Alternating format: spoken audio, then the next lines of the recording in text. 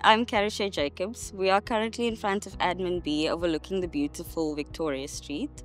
I am a client services consultant for student finances and I'm temporarily standing in as a bursary officer for the undergraduate um, bursaries and loans department. I joined student finances at the beginning of 2023 as an assistant and I was permanently employed at the beginning of this year. The part of my job that I love the most is definitely the people that I work with. Um, even though we face so many challenges, it's um, I always say you have to find something to like about what you're doing, and um, even though it's difficult at times, I think that it's um, very important to remember that you work with people and you need to find something that you can relate with them on. Yeah, so I, I feel like what I mo- mostly love about what I do is definitely the people that I work with because things may change and there may be um, challenges, but hopefully your, your team always stays the same. Oh, I right after graduating, um, I started working at at so this is my very first real job. Um, but I started, I actually started at um, CCSC at client services. So I started as a student assistant there, and then I moved to student finances, and now I'm here. yes, I did. Um, I studied BA in humanities, um, majoring in theatre studies. I definitely do see um, a future at the university. I feel as though the the skill set that I have and and um, what I studied sort of prepared me to be here because um, I feel like studying social sciences and um, enjoying learning about people is, is something that really relates to what I do here. I think we all have difficult days, especially with a lot of the challenges that we are facing. As I've said, I try to always find things to like about what I'm doing, else I'm going to be miser miserable. I'm very grateful um, to receive this award and thank you to whoever nominated me.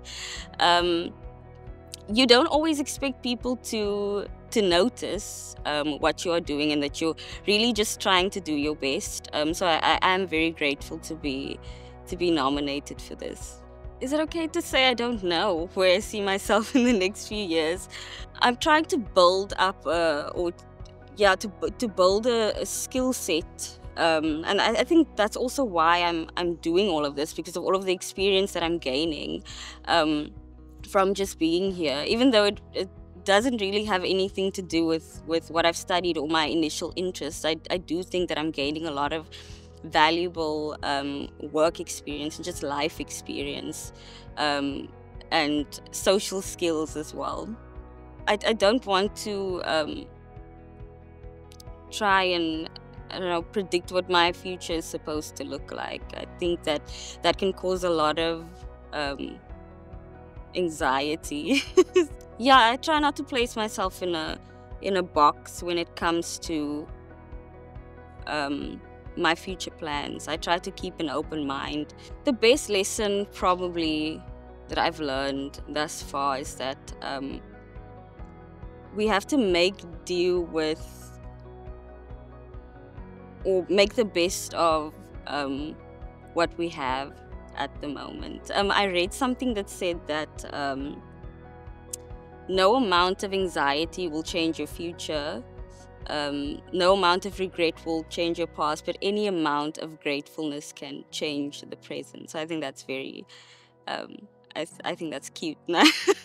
it's something I always keep in mind. So do your absolute best um, in whatever situation you're placed in. I think I'm an open book. I don't really, I don't think I have any um, hidden secrets, but I would say the person that I am when I'm not at work is probably someone very introverted. I don't really go out much. I really enjoy my own quiet time.